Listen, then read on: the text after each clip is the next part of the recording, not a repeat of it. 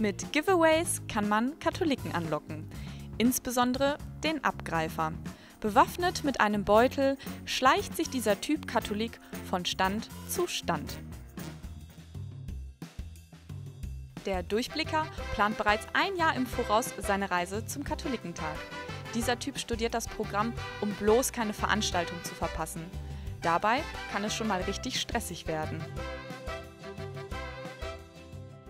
Beten, beten und nochmal beten. Das ist das Hobby des frommen Katholiken. Am liebsten kniet er auf harten Kirchenbänken, zündelt mit Kerzen oder schmeißt sich ehrfürchtig vor Bischöfe auf den Boden.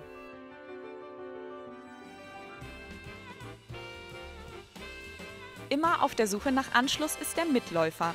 Er macht sich nicht die Mühe, selbst ein Programm zusammenzustellen, sondern heftet sich an die Fersen Fremder. Dabei ist es ihm egal, wohin es geht.